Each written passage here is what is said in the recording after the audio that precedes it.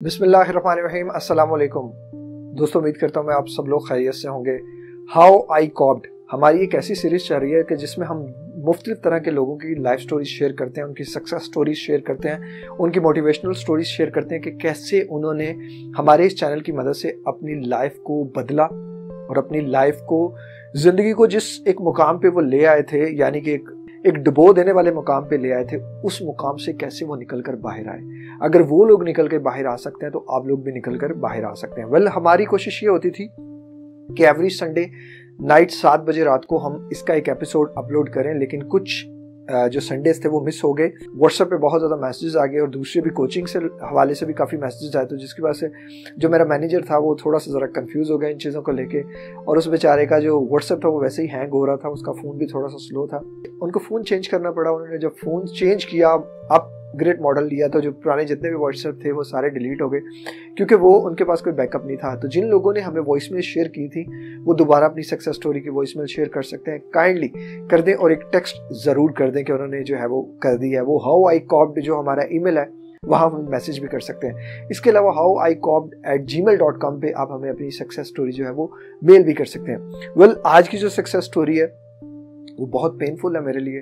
क्योंकि मैं अक्सर जो मियाँ बीवी का रिलेशन होता है ना, इसको लेके मैं खुद भी बड़ी पेन महसूस करता हूँ। क्योंकि मैं समझता हूँ कि ये वो वाहिद रिलेशन है कि जिसमें इंसान बड़ा जो है ना, वो बहुत हार्ड टचिंग हो जाता है। अगर किसी के भी मियाँ बीवी में लड़ाई झगड़े होते हैं तो ऐसे लगता है कि जैसे अपना ही दर्द है। तो मियाँ बीवी का रिलेशन जो है ना, दुनिया में सबसे जो फ़ायदा उठाने की चीज़ है ना, वो अच्छी बीवी है, कि जिसके पास अच्छी बीवी वो दुनिया का सबसे खुशकिस्मत इंसान है। तो आज की जो सक्सेस स्टोरी है, वो ऐसी है कि बदकिस्मती से उस इंसान के पास अच्छी बीवी नहीं थी, जिसकी वजह से वो बेचारा बहुत सी परेशानियों में गया। वेल परेशानियों में जाना इट्स नेचुरल हर इंसान चला जाता है। कोई भी इंसान ये नहीं कहता कि वो परेशानियों में नहीं जाएगा, चला जाता है। लेकिन उन परेशानियों से निकल के बाहर आना, ये भी इंसान पे डिपेंड करता है। वो निकल सकता है। वो अपनी लाइफ को बदल सकता है। वो कुछ भी कर सकता इंसान कुछ भी कर सकता है यार। बिलीव मी इंसान कुछ भी कर सकता है, बस शर्त ये कि वो करना चाहे। अगर आपसे अभी तक नहीं हो पा रहा ना तो समझ लें कि आप करना ही नहीं चाह रहे। आप नहीं करना चाह रहे। आप उस तरह एफर्ट उस तरह एनर्जी नहीं लगा रहे जिस तरह आपको लगानी चाहिए। अगर आप एनर्जी एफर्ट उस तरह लगाएँगे तो बिलीव मी आप इन सब चीज़ों से निकल के बाहर आ जाएँगे। मैं आपको गारंटी देता हूँ, आप इन सब चीज़ों से निकल के बाहर आ जाएँगे।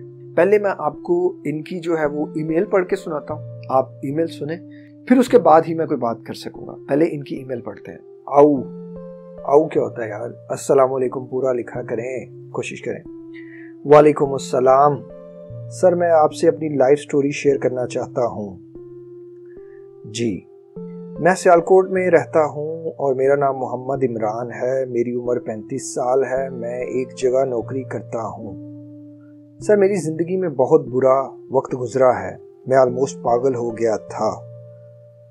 मेरी ज़िंदगी अजाब हो गई थी, हुआ कुछ यूँ कि मेरी शादी 2010 में हुई।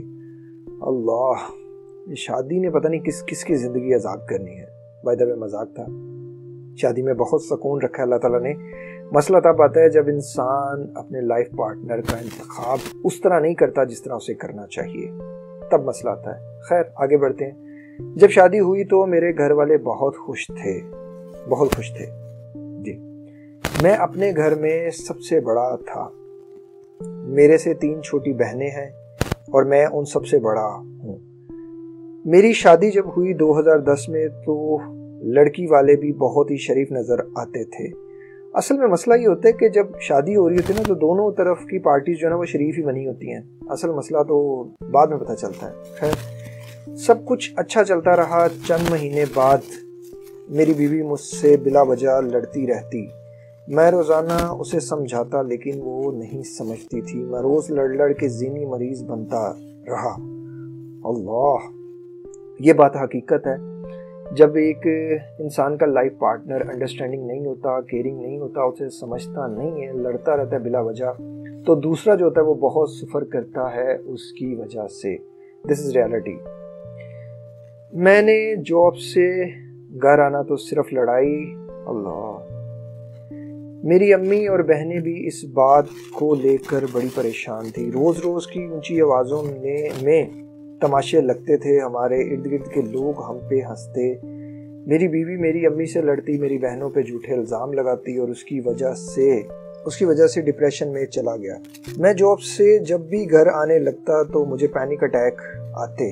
मेरे हाथ पाँव सुन हो जाते, मेरा दिमाग माउफ हो जाता, मेरे घर आने से डरता था, मैं वहाँ से हॉस्पिटल चला जाता और मैं मेडिसिन लेके घर जाते साथ ही फिर से सब शुरू हो जाता। शुरू।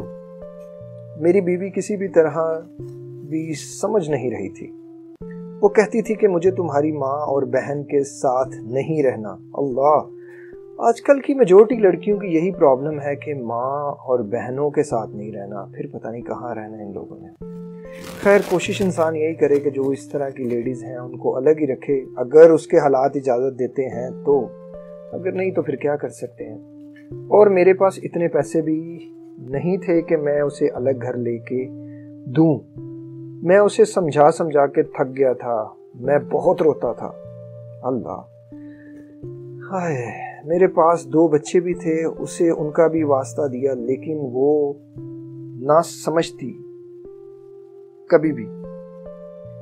मैं पागलों वाली कैफियत में आता जा रहा था।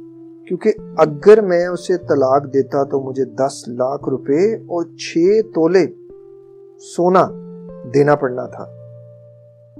दस लाख रुपए हक महर और छह तोले सोना, इतना ज़्यादा हक महर लिख दिया था आपने। मैं कहाँ से देता? उसे मेरी भी अम्मी कहती थी कि ये वक्त के साथ साथ सुधर जाएगी, लेकिन आने वाला हर दिन मेरे लिए अजाब बनता जा रहा था। मेरी जॉब चली गई, मेरी जॉब चली गई, मैं मजीद डिप्रेशन में आ गया। मेरे मेरे से बिस्तर तक से उठा नहीं जाता था। लेकिन उस लड़की को ना तो घर की परवाह थी और ना ही मेरी। सुबह अपने घर चली जाती और शाम को वापस आती। मेरी बहनें सारे घर का काम करती थी और अम्मी भी बीमार हो गई। हम सब बहुत अजियत में थे इस लड़की की वजह से। हमारे घर से, घर में अपने जवान कज़न बुला लेती और अब मेरी बहनों के सामने जान जान के लाती उनको और मेरे और फिर मेरी बहनों को बातें करती। मेरी अम्मी हमेशा उसे समझाती, लेकिन उसकी समझ में कुछ ना आता। मैं सारा दिन बस मेडिसिन खा के बेहोश हुआ होता था। मेरी ये हालत थी कि मेरी माँ को मजीद बीमार कर रही थी और मैं भी रो रो के थक गया था। मैंने सोचा कि ऐसा कब तक चलेगा? मैंने सोचा कि आज इस मसले का हल करना ही पड़ेगा। मुझे। मेरी बीवी अपनी अम्मी के घर गई और रात को नौ बजे अपने कज़न के साथ वापस आई। अल्लाह ये कौन सा कज़न था जो रात को नौ बजे छोड़ के जाता था? वेल well, ये माँ बाप की सिर्फ़ बिला वजह की जो है ना वो ढील होती है। इस्लाम में कोई ऐसे कजन्स के साथ इतना फ्री होना नहीं है कि हद रखी है हर रिश्ते की। खैर आई मैंने उसे पूछा तुम ये सब क्यों कर रही हो? तो हमेशा की तरह आगे से लड़ाई उसने शुरू कर दी। मैंने कहा, अब मेरी बस हो गई है। अब मैं और नहीं ये सब बर्दाश्त कर सकता। उस लड़की ने मुझे बगैर किसी लिहाज के कहा के तो ठीक है, मुझे तलाक दे दो। मैं भी थक चुकी हूँ, मैं भी थक चुकी, मैं भी थक चुका था। मैंने कहा, ठीक है, तुम तलाक ले लो। मैंने कहा, ठीक है, तुम्हें तलाक देता हूँ, लेकिन मेरे पास महर के पैसे नहीं हैं, हक महर के पैसे नहीं हैं, यानी कि लड़की ने कहा, मुझे बस तलाक दे दो और बस, और कुछ नहीं चाहिए मुझे। तुम जान छोड़ दो मेरी। मैंने ये बात सुनकर तलाक देने का फैसला कर लिया, और उस लड़की ने कहा कि मेरी अम्मी और भाइयों के सामने मुझे तलाक दो। मैंने कहा, ठीक है, मैं तलाक दे दूँगा तुम्हें। वो उसी टाइम फिर वापस अपने घर चली गई। अच्छा उसी टाइम वापस अपने घर भी चली गई। कैसी लड़की थी यार ये, जिसको जरा भी घर बसाने की नहीं थी। अल्लाह। और मैं सुकून में आ गया। अगले दिन वो अपनी अम्मी और भाइयों के साथ हमारे घर आई और उसकी अम्मी ने कहा कि तुम इसको तलाक देना चाहते हो? तो मैंने बोला, जी, मैं देना चाहता हूँ। तो मेरी बीवी गुस्से में बोली तो जल्दी दे दो, जल्दी दो। उसके भाई भी गुस्से में कहने लगे, फ़ौरन दो इसको अभी दो अल्लाह, कैसे लोग थे यार। भाई भी बहनों के साथ मिलना शुरू हो गए उसके गलत कामों में। कैसे लोग हैं। मैंने तलाक दे दी तो मेरी बीवी ने कहा कि, चलो मेरा जहेज और हक महर सब कुछ अभी दो। मैं हैरान परेशान हो गया कि इस औरत ने मेरे साथ क्या किया है। पहले तो कुछ कहती है और अब कुछ और कह रही है। मेरी अम्मी भी परेशान हो गई, उसने बच्चों को लिया और वो अदालत चली गई। खैर, फिर हमें अपना घर बेचकर सब कुछ उसे देना पड़ा। उस औरत ने मुझे तबाह करके रख दिया, बर्बाद कर दिया। मेरी बहनें मेरी वजह से पढ़ ना सकी। मेरी अम्मी इस सदमे की वजह से फोत हो गई। मैं भी कई बार खुदकुशी करते करते रुका। सिर्फ़ अपनी बहनों की वजह से। मैं कई बार पागल खाने जाते जाते बचा हूँ। मेरे बच्चे तक उस औरत ने ले लिए और मुझे उनसे तक नहीं मिलने दिया। देती थी। मैं बहुत अजियत में था 2014 में मेरी तलाक हुई और 2020 तक मेरे ऊपर जो जो गुजरा, वो मैं शायद किसी को नहीं बता सकता। फिर मुझे एक दिन YouTube पे आपका चैनल मिला। पहले तो मैं समझा, शायद आप सब एम ही कह रहे हो। इन सबसे थोड़ी कुछ, कोई निकल सकता है। हाँ ये बात अपने हकीकत कही, कि जब इंसान नहीं सोचता ना, उसने नहीं निकलना तो उसको ये सब एम ही लगता है। उसको ये सब मज़ाक ही लगता है। फिर आप निकले ना फिर मैंने पूरे यकीन के साथ 2020 में पूरा साल आपकी हर बात पे अमल किया। 2020 पूरा इन्होंने अमल किया। मैं निकलता था, फिर उधर ही आ जाता था। फिर मैं आपकी बातों को समझा कि मैं कहीं ना कहीं गलती कर रहा, गलती ज़रूर कर रहा हूँ। ज़बरदस्त हो गया, आपने समझा। आपने ठीक कहा कि गलती इंसान खुद ही करता है। अब मैं अल्हम्दुलिल्लाह अल्लाह के कर्मों, अल्लाह के करम से और आपकी रहनुमाई से इन चीज़ों से निकल आया हूँ। मेरी हर नमाज़ में आपके लिए रो रो के दुआ होती है। और मैं आज पैंतीस साल का होके सत्तर साल का लगता हूँ। मेरी परेशानियों ने मुझे मार दिया है। ना ना, मेरे भाई, हिम्मत नहीं हारनी। लेकिन मैं हिम्मत नहीं हारूँगा इनशाला कभी मैं भी लड़ूँगा और लड़ता रहूँगा। और मेरी ख्वाहिश है कि मैं एक दफ़ा आपसे ज़रूर मिलूँ। जी इनशाला ज़रूर मिलेंगे इनशाला बाकी सर, आप बहुत अच्छा काम कर रहे हैं। मेहरबानी। और जो लोग कहते हैं कि वो नहीं कर सकते, आप यकीन करें, मैं भी यही समझता था कि मेरे सिम्टम बहुत सिम्टम्स बहुत ज़्यादा हैं। थे। इतने ज़्यादा थे कि मैं बता नहीं सकता। मुझे नींद नहीं आती थी, भूख नहीं लगती थी, हाथ पाँव पे भी झुड़ियाँ आ गई थी। गुस्सा बहुत आता था। रोते रोते रहना हर वक्त खुदकुशी के ख्याल आते थे। हर टाइम दिमाग सुन सुन सा रहता था, सुन सा रहता, ज़ुबान जलती रहती, जिसम बेजान सा, बाल गिरते, बाल गिर गए, मेरे चेहरा बुरा हो गया, रौनक खत्म हो गई, हाथ पाँव पे जुड़िया आ गईं।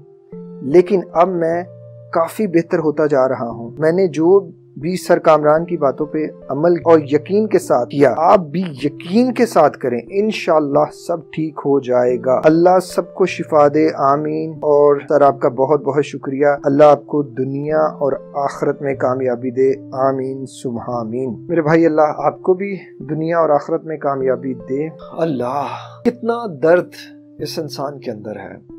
क्योंकि मियाँ बीवी का रिलेशन जब कोई एक भी पार्टनर आपको समझता नहीं ना तो दूसरा खुद ब खुद ही उस चीज़ों में सफ़र करना शुरू हो जाता है। दूसरा खुद ब खुद ही बेचारा नेगेटिविटी का शिकार हो जाता है। दूसरा खुद ब खुद ही बुरी से बुरी चीज़ों की तरफ़ चला जाता है। लाइफ पार्टनर का मतलब क्या होता है? मियाँ बीवी को अल्लाह ताला ने एक दूसरे का लिबास क्यों कहा है? इसलिए कहा है कि वो एक दूसरे के साथ जुड़ के रहें, एक दूसरे की अच्छाई और बुराई में एक दूसरे का साथ दें। बुराई इन सेंस कि बुराई उसको कम करने में, ज़्यादा करने में नहीं, कम करने में। अच्छाई को इनहेंस करने में। लेकिन ये बेचारा इतना, बेचारा इन अ सेंस के उसके ऊपर अल्लाह ताला ने इतनी बड़ी आजमाइश डाल दी कि वो इतनी बड़ी आजमाइश से गुजरा है कि उसने इतना दर्द, इतनी तकलीफ़ अपने अंदर महसूस की ये कम दुख दर्द तकलीफ़ नहीं होता कि आप पूरा दिन मेहनत करके घर आ रहे हो और आप जब घर जा रहे हो, आपका लाइफ पार्टनर आगे से आपको लड़ाई, झगड़ा मतलब किस तरह का माहौल होगा, किस तरह की ज़िंदगी उस बेचारे ने गुजारी होगी, जिसकी वजह से वो एक जिनी मरीज़ बन गया। जिसकी वजह से वो पूरा अपने मेंटली जो थी वो चीज़ें सारी चीज़ों को लूज कर गया। अब देखिए ये कितनी बड़ी चीज़ें होंगी, ये छोटी चीज़ें नहीं होंगी। तो इस तरह के लोगों के लिए अल्लाह तला से बस बंदा हदायत ही मांग सकता है, और क्या मांग सकता है ऐसी बीवियों के लिए? ये सब बीवियाँ जो आजकल के माशरे की इस तरह की औरतें होती जा रही हैं, इस तरह की लड़कियाँ होती जा रही हैं, मर्दों में भी बहुत चीज़ है, लेकिन औरतों में बहुत ज़्यादा होती जा रही है। एक औरत घर बनाती है, मर्द चाह के भी घर नहीं बना सकता। औरत, अकेली औरत चाहे तो घर बन जाता है। मर्द जितना मर्ज़ी बुरा हो, औरत चाहे बुरे से बुरे मर्द को भी अच्छा कर लेती है। उसके पास इतना इख्तियार है। अभी जो प्रीवियस इससे वीडियो थी, वो एक अच्छी औरत की थी और एक बुरे मर्द की थी। आज एक अच्छे मर्द की और एक बुरी औरत की स्टोरी है। बड़ा अफसोस होता है इन चीज़ों का कि माँ बाप अपनी रिस्पॉन्सिबिलिटीज ले ही नहीं रहे। जी ऐसे ही है माशरा जी ऐसे ही होता है। ऐसे ही चलता है। किसने कहा ऐसे होता है? किसने कहा ऐसे चलता है? आप अगर नहीं कर पा रहे तो इसमें आपकी गलती है। किसी और की गलती नहीं है। अगर बेटी खराब है तो आपकी खराब है, अगर बेटा खराब है तो आपका खराब है। किसी और का इसमें कोई कसूर नहीं। किसी और ने इनको खराब नहीं किया, इनको खराब किया सिर्फ़ आपकी परवरिश ने। आपकी लैक ऑफ़ जो थी ना वो अटेंशन ने। बिला वजह की सपोर्ट ने। जब भाई अपनी बहन के साथ खड़े होकर कह रहे हैं कि चल तू ले तलाक, हम तेरे साथ हैं। तो वो तलाक नहीं लेगी तो क्या करेगी? कैसे भाई थे? अगर ये मेरी वीडियो कभी उन भाइयों तक पहुँच जाए तो मैं उनसे एक ही छोटा सा सवाल करना चाहूँगा कि मर्द में तो अल्लाह ने गैरत रखी है, तुम अपनी गैरत बेच के क्या कर बैठे और तुमने अपनी गैरत ही बेच दी है। बहुत ही ज़्यादा घटिया इंसान है आप। बहुत ही ज़्यादा आप जैसे इंसान पे तो लफ्ज आए लेकिन चुल्लू भर पानी में आप लोग डूब मरे कि जो अपनी बहन का घर तबाह करने में पूरा उसके साथ रहे। अगर आप स्टार्टिंग में थोड़ा सा अपनी बहन को समझाते कि कहाँ तुम गलती कर रही हो तो आज उसका घर बच जाता। एक दूसरा इंसान बेचारा भी बच जाता, जो बेचारा कितनी अजियत से गुजरा। अब ये जितनी अजियत से गुजरा है एक तो आपकी बहन की भी पकड़ होगी, दूसरा हर उस इंसान की पकड़ होगी, जिसकी वजह से उस इंसान को तकलीफ़ पहुँची, जिसकी वजह से उसकी माँ इस दुनिया से गई। ये सब रिस्पॉन्सिबल होंगे। बाय द वे जो लोग भी इस वीडियो को देख रहे हैं आप इनकी सिचुएशन को देखें। पहले तो इनकी सिचुएशन के लिए इनके लिए दुआ करें कि अल्लाह ताला इनके लिए आसानियों का मामला फरमाए। दूसरी चीज़, आप सब लोग भी एक बात मेरी याद रखें कि कुछ भी हो सकता है। ज़िंदगी में अच्छा भी हो सकता है, बुरा भी हो सकता है। इसको दोनों सिचुएशंस के लिए प्रिपेयर रखें। इसको दोनों चीज़ों के लिए अवेयर रखें कि अगर बुरा होगा तो मेरे पास क्या स्ट्रेटेजी होगी। अगर अच्छा होगा तो मैं अपनी उस ओवर एक्साइटमेंट को कैसे कम करूँगा? दोनों सोल्यूशन होने आप चाहिए आपके पास, और this is the perfect channel आप इस चैनल पे आपके सारे सवालों का जवाब है, बस वक्त लगाना है आपको। आप कहते हैं कि जी, वक्त भी ना लगे, मुझे पक्की पकाई मिल जाए, ऐसा कभी हो ही नहीं सकता। दुनिया का अमीर से अमीर बंदा भी है ना, वो भी खाना खाएगा। दुनिया का गरीब से गरीब बंदा भी है, वो भी खाना खाएगा। दुनिया का अमीर से अमीर बंदा है, वो भी नींद रात की लेगा। दुनिया का गरीब से गरीब बंदा है, वो भी रात की नींद लेगा। दुनिया का अमीर से अमीर बंदा है, वो भी चले फिरेगा तो उसका खाना हजम होगा। दुनिया का गरीब से गरीब बंदा, वो भी चले फिरेगा फ़िज़िकल वर्क करेगा तो उसका खाना हजम हो जाएगा। खाना हजम होगा, ये नेचर के लाज है। इसको आप, मैं कोई भी चाहकर भी नहीं बदल सकता। हम सब नेचर के अंडर आते हैं। नेचर हमारे अंडर नहीं आती। तो आप ये ना सोचें कि मुझे कोई शाही प्रोटोकॉल दें कि जी मैं कुछ भी ना करूँ मैं ठीक हो जाऊँ। कुछ भी नहीं करोगे तो कुछ भी नहीं होगा। लाइफ में कुछ तभी होगा जब आप कुछ करोगे। और कुछ आप तभी कर सकोगे जब आप कुछ करने का सोच, सोचोगे, अजम करोगे, फैसला करोगे और कुछ करोगे। तो कुछ होगा वरना कुछ भी नहीं होगा। तो जो लोग ये सोच रहे हैं ना कि उनसे नहीं होगा, आपकी तरह बहुत से लोग सोच रहे थे, उनसे नहीं होगा। मैं भी यही सोचता था, मुझसे नहीं होगा। कर लिया ना। उन सब लोगों ने भी कर लिया। आप लोग भी करें, आप लोग भी कर सकते हैं। अल्लाह ताला आपके लिए, हम सब के लिए आसानियाँ पैदा करें और जो लोग मुझे अपनी वॉइस मेल व्हाट्सअप करना चाहते हैं, वो हमारे इस व्हाट्सअप नंबर पर कर सकते हैं और जो लोग हमें ईमेल करना चाहते हैं, वो हमें ईमेल कर सकते हैं। अपना बहुत ख्याल रखिएगा। नेक्स्ट संडे मिलते हैं किसी और बंदे की सक्सेस स्टोरी के साथ। असलकम अल्लाह हाफिज़।